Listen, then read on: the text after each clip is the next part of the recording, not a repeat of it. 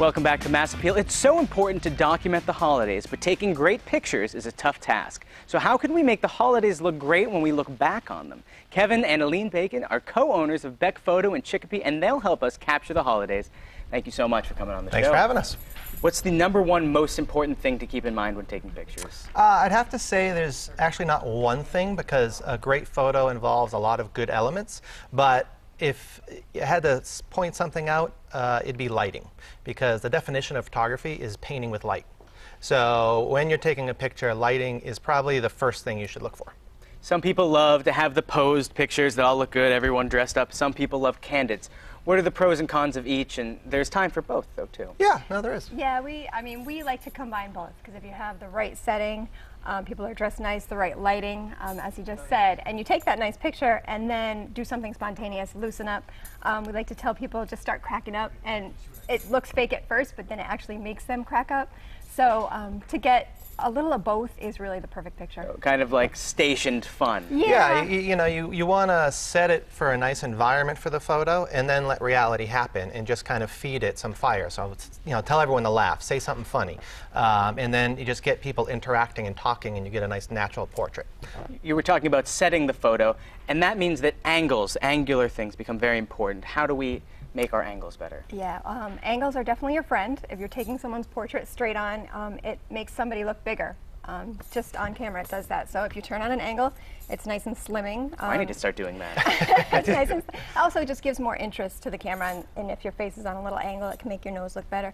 Another great thing to do is if you have a ladder or stairs at home, um, just tell everybody to get in a huddle. The photographer gets up, so you're shooting down on everybody, and everybody kind of looks nice and fun like that. And you're looking up, helps thin out the neck and That- stuff. like that. Definitely. Yeah, The no double pyram- chins. No, no, no one wants that. The pyramid is also an angle thing that you use. Yeah, it's, you know, when you have a big group, uh, you really have to layer them, and making a pyramid is a triangle of some type is, is usually uh, pleasing. I think we have some photos of that too, so we can Yeah. show people how it's done. Sure. Uh, you know, usually with the pyramid, uh, this one actually is a pig pile.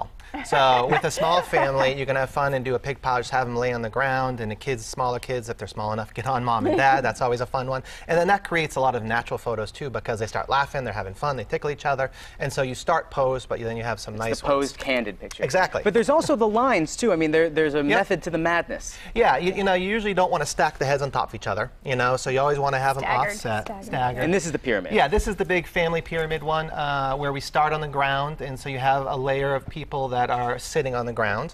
Uh, then you have a layer of people that are kneeling, and then you have the Yeah, people that are sitting. standing. You have a chairs, they can be Yep, sitting you as can well. have chairs in that second level. Um, again, here's a nice triangle we form with the three brothers.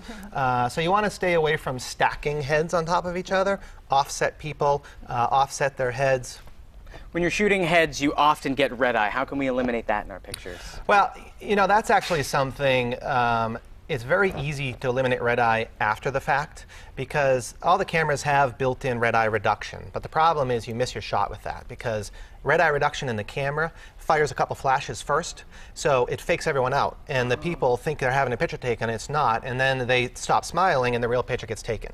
So my advice is turn off red eye reduction in the camera, deal with it afterwards. Every program has it. You load up to Facebook. I mean, there's almost You can every even do it on your phone now. Yeah, uh, uh, iPhone 4, you can get rid of red eye right on your phone. Is it important to get a, a very nice state-of-the-art camera, or with these camera phones, can you get away with less these days? You know, it, it depends on what you want to do. If you have kids and you like photographing sports, then it really helps to have a DSLR like these two larger ones here because they're instantaneous. They track focus. When you hit that button, it fires. There's no lag.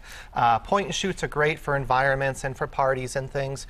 Um, so it all kind of depends on what you're going for. Lastly, do you have any quick tips for us for the outdoors when we're photographing? Yeah, you know, the biggest tip I would say is learn how to control your flash. If you're outside and it's sunny, your camera's not going to fire a flash, when in reality, it would really help fill in some shadows.